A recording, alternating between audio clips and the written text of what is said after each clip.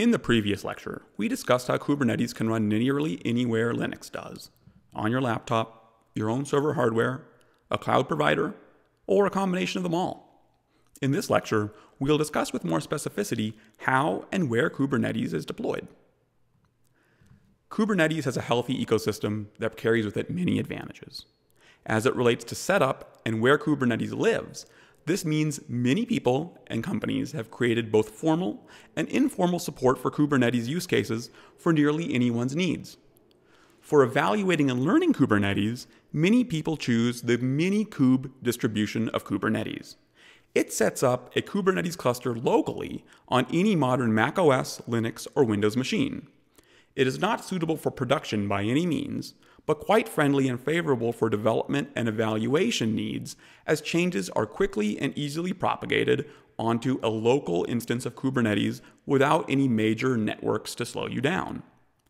For larger development or staging work in production, Kubernetes can run on bare metal hardware or on cloud providers. Many cloud providers even provide a Kubernetes offering, which takes care of many of the more menial administration, configuration, and other tasks associated with running a Kubernetes cluster for you. Google Cloud Platform and Azure offer mature Kubernetes offerings that handle setup management of your Kubernetes clusters on their cloud with ease, even through a friendly web interface designed and integrated with their cloud consoles. Amazon is rumored to have one of their own in development or to bring Kubernetes compatibility to their existing Elastic Container Service to do the same. Regardless of where and how you run Kubernetes, you can always elect to stand up your own Kubernetes cluster on any cloud provider's virtual machines if they do not offer a Kubernetes service or if you'd rather not use theirs.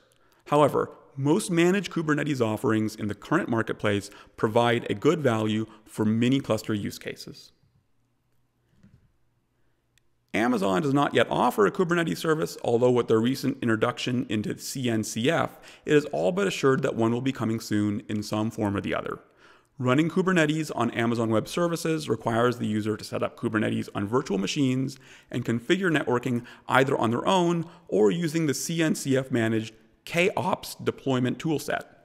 Using KOPS whenever possible is highly recommended as it reduces error, simplifies the work, and maintains consistency. Naturally, as the birthplace of Kubernetes, Google Cloud Platform has mature support for Kubernetes as a managed software offering through its Google Container Engine product. As you'll see later in this video series, Kubernetes setup requires a master, a few data stores, and the like to function. Google Cloud Platform's Container Engine offering abstracts these away and provides a management interface in their cloud console for these items. Of course, you can always set up your own cluster on bare virtual machines too. Manually or using KOPS, however, if the economics of Container Engine are reasonable, it's always wise to consider their managed service to avoid having to run and maintain certain parts of your Kubernetes infrastructure.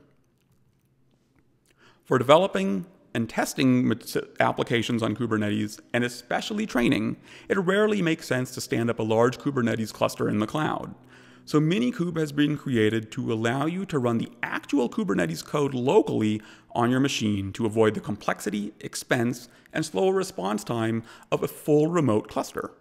We'll use Minikube in this video series almost extensively and exclusively for just this purpose.